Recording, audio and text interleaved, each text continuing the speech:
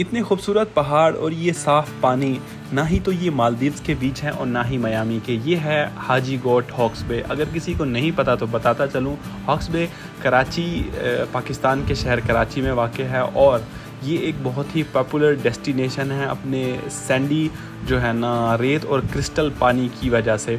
और ये अपने सनसेट की वजह से भी बहुत ज़्यादा मतलब कई सालों के दौरान ये बहुत ज़्यादा मकबूल हुआ है लोकल टूरिस्ट में ना। तो उसके अलावा जो है ना, अगर इसको मतलब पुरानी उसमें तारीख में देखें तो इस ये एक मतलब दिलकश कहानी बताता है हक्सबे हक्सबे की जो ये तारीख एक अहमियत रखता है जो वादी सिंध की कदीम तहजीब से मिलता है। ये जो पीछे आपको हट्स नज़र आ रही हैं ये बेसिकली हॉक्सबे के प्राइवेट एरिया है। प्राइवेट हट्स ये बनाई गई हैं। ये पब, आम पब्लिक के लिए जनरल पब्लिक के लिए नहीं है।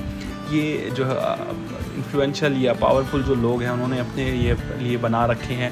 इनमें से कुछ ऐसे हैं सारे नहीं कुछ ऐसे हैं जो रेंट पे भी रेंट आउट भी किए जाते हैं जिनका किराया एक लाख से ऊपर ऊपर है।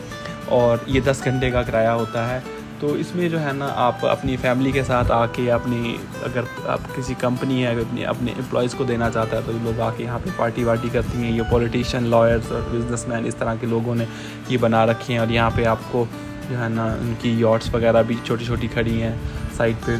तो ये इसका ही कुछ ये है। इसके जो साहिल के आसपास का इलाका है, जो कभी हड़प्पा की तहजीब से आबाद था मतलब पच्चीस सौ कबल मसीह के आसपास इस खत्े में परवान चढ़ी आसार कदीमा की जो खुदाइयाँ हैं, उससे कदीम तहजीब के नमूने और जो बाकी चीज़ें थी, उसकी वो बरामद हुई हैं, जिसमें मट्टी के बर्तन, मोहरें, ढांचे, जो मतलब पुरानी वक्तों की झलकियाँ देते हैं।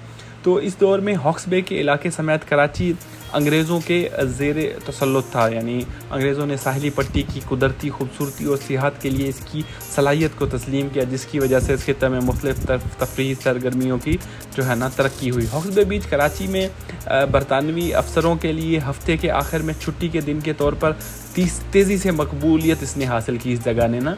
तो इसकी जो सुनहरी स्पेशल अलामत हैं, इसकी तो ये हैं कि एक ज़माने में हॉक्सबे बीच के करीब साहली गाँव में अली नाम का एक नौजवान माहीगीर रहता था और समंदर के लिए अपने शौक़ और माहीगीरी की अपनी गैर मामूली महारत के लिए जाना जाता था। तो एक दिन जब वो समंदर से बाहर आया तो उसने सूरज की रोशनी में चमकते हुए एक शानदार सुनहरी जो है ना इसको देखा आ, मतलब एक सी शेल को देखा सिप को तो हैरान होकर अली ने पानी में डूब कर कीमती ख़जाना निकाल लिया। तो इस एक कहानी है।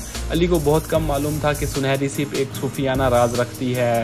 तो ये मतलब जिसके पास ये सिप होता है उसकी दिल की ख्वाहिश की मतलब हर एक ख्वाहिश पूरी कर दी जाती है। ऐसे कुछ कहानी इसके बारे में बताई जाती है।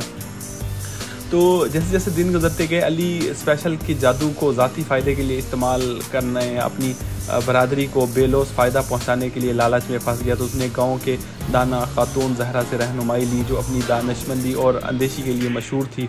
जहरा ने अली को मशवरा दिया कि अपने दिल की बात सुने और फैसला करे तो उसने जो है ना, बड़ी भलाई पर गौर की तो अली ने मतलब ये कहानी है इस जगह के बारे में। कई दिन तक गौर किया इम्कान और नतज पर गौर किया। आखिरकार उसने अपना जहन बनाया कि अली ने हॉक्स बे को बेमिसाल खूबसूरती और सुकून की जगह में तब्दील करने के लिए सुनहरी उसकी जो स्पेशल ताकत थी को इस्तेमाल करने का फ़ैसला किया जो इन तमाम लोगों के लिए काबिल रसाई है जो ये इस तरह की कहानी है। तो हाथ में सीप लेकर अली ने अपनी ख्वाहिश पूरी की रातों रात हॉक्स बे जो है ना जन्नत में तब्दील हो गया। तो कभी ना हमवार सा, साहिल सफ़ेद रेत का कदीम फैलाव बन गया। तो इसके बारे में एक कहानी है। तो ये है इसका ऐसे तो और भी बहुत कुछ है कि ये हड़प्पा की तहजीब की तारीख की अहमियत अली और सुनहरे समंदर की जो है ना मतलब कहानी और ये इस तरह से है। खैर तो यहाँ पे अगर हम हाजी गोट का ज़िक्र ना करें तो ये मुनासिब नहीं होगा। हाजी गोट एक छोटा सा माहिगिरों का गाँव है, जो कराची, पाकिस्तान के हक्सबे के करीब है। ये मतलब अजीब साहली बस्ती है अपनी। ये लोग ये जो, लोग अपनी ज़मीन ये बेचते नहीं हैं, ये लीज़ पे मतलब रेंट आउट करते हैं इन्फ्लुएंशियल लोगों को पॉलिटिशन को बिजनेसमैनों को, इस तरह से जो बड़े बड़े लोग हैं। तो ये लोग फिर यहाँ पे अपनी हट्स बनाते हैं, दो, तीन, चार कमरों की जितनी भी बनानी होती हैं स्विमिंग पूल इसके अंदर सारी कंक्रीट की दीवारें बनाई जाती हैं।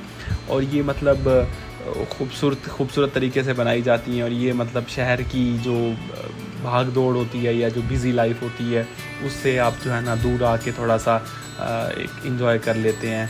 तो ये है इनका जो है ना कुछ हिसाब किताब और इनका कुछ रूल्स हैं। यहाँ पे कोई चोरी नहीं होती बड़ा इन, बड़ा कंट्रोल है इस इलाके में कोई आ नहीं सकता। बग़ैर परमिशन के जिनकी हट्स हैं उनकी परमिशन के या इनकी सिक्योरिटी को चेक करवाए बगैर। तो ये है इसका जो है ना मतलब इस कुछ हिसाब किताब इस जगह का। तो ये जितने भी लोग यहाँ पे काम करते हैं वो भी इसी जगह के इसी जगह से लिए जाएँगे। मतलब ये एक इन्होंने अपनी एक छोटी सी वो बना रखी है स्टेट टाइप की चीज़। तो ये है मतलब अच्छी सेंस में मतलब अपने लोगों के लिए वो करते हैं। आ, मतलब बहुत अच्छा काम करते हैं। और बताया बताया किसी ने कि जो है ना यहाँ पे कोई चोरी नहीं होती। अगर चोरी हो जाए तो उस बंदे ने की अगर वो पकड़ा जाए तो उसको फिर दूर कहीं वो किसी आइलैंड पे छोड़ के आ जाते हैं पानी में फेंक के आ जाते हैं, इस सज़ा के तौर पे।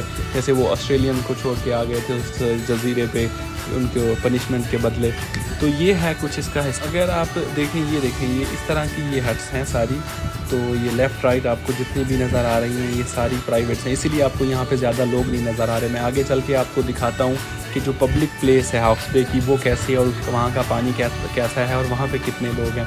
तो ये सारे लोग या तो रेंट आउट इन्होंने क्या कर रखा है या जो है ना अपना इनके अपने हैं। अपने वाले तो बहुत कम ही आते हैं क्योंकि बिज़ी लोग होते हैं तो बहुत कम आते हैं। तो हमारा किसी मतलब दोस्त के रेफरेंस से हमें किसी का ये मिला। तो खैर बहरहाल जो है ना ये है कुछ अंदर से इस तरह से दिखता है। हम जा रहे हैं इसके छत के ऊपर अपस्टेयर्स के, वहाँ से कैसा व्यू आता है, क्योंकि वहाँ से लड़का बता रहा है कि बहुत अच्छा व्यू आता है। तो ये है इसका कुछ हिसाब यहाँ से। तो जो है ना, पानी बहुत ही ज़्यादा मतलब क्रिस्टल क्लियर पानी था, बहुत ही साफ़ जो है ना, मज़ा आ गया देख के। और हवा भी काफ़ी अच्छी थी। और जो है ना, लोगों ने स्विमिंग पूल बना रखे हैं, पहले उसमें नहा लेते हैं, फिर क्योंकि दूसरे पानी का तो बिल्कुल यहाँ सामने नहीं है थोड़ा सा आगे जाएँ तो वहाँ पे लोग नहा रहे हैं।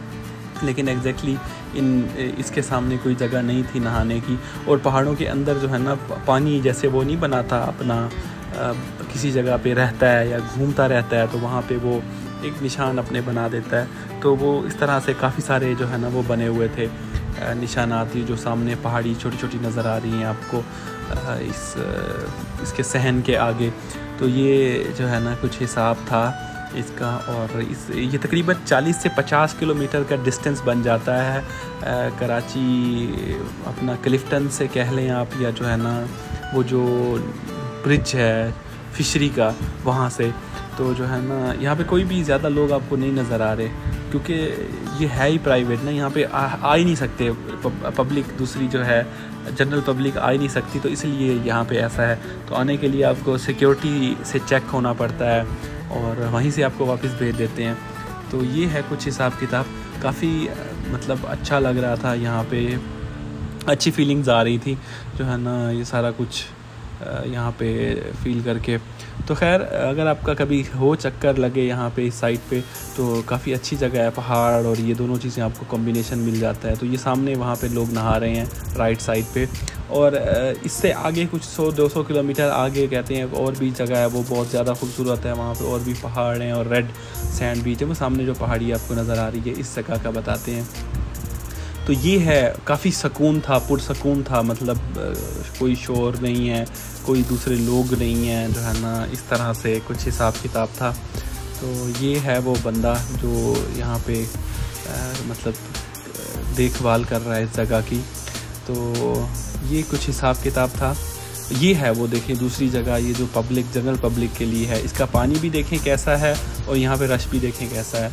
इसे मैंने कंपैरिजन करने के लिए इस जगह को विज़िट किया कि क्या है हिसाब किताब? ये भी हॉक्स बे ही है, लेकिन ये जनरल पब्लिक के लिए है।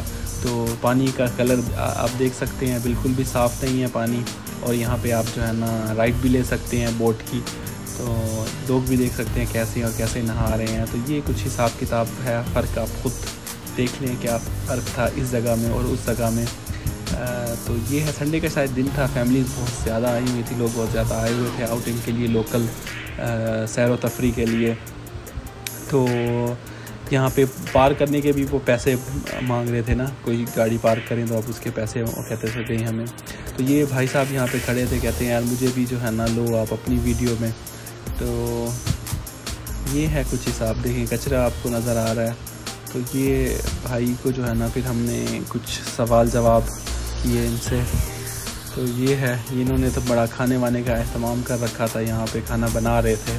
बना नहीं था, बना रहे थे। सारा कुछ थूम छील रहे थे और इस तरह से सारा कुछ कर रहे थे। तो ये है, देखें आप फैमिलीज़ घोड़े, बच्चे, नौजवान, कश्ती की राइड हो रही है। तो ये काफ़ी बड़ा एरिया है। तो ये यहाँ पे लोकल्स आते हैं, जो क्लिफ्टन और सी व्यू है, वहाँ पे आते हैं। जो बाहर से टूरिस्ट आता है, वो क्योंकि यहाँ पे आपको स्पेशल कोई व्हीकल चाहिए होती है आने जाने के लिए। ये मतलब जनरल या पब्लिक ट्रांसपोर्ट का एक्सेस नहीं है यहाँ पे। तो इसीलिए अगर है तो लोगों को पता नहीं है जो लोग बाहर से आते हैं दूसरे शहरों से। तो उनको इतना ज़्यादा आइडिया नहीं है। तो आपका कोई लोकल हो दोस्त तो वो आपको जो है ना केटर करे, यहाँ से इंटरटेन करे यहाँ पे। तो ये है कुछ हिसाब किताब इस जगह का। काफ़ी अच्छी जगह थी। काफ़ी इन्जॉय किया हमने। तो ये है। कुल मिला के हिसाब यहाँ तक का। तो निकलता हूँ, मिलता हूँ फिर किसी दूसरी वीडियो में।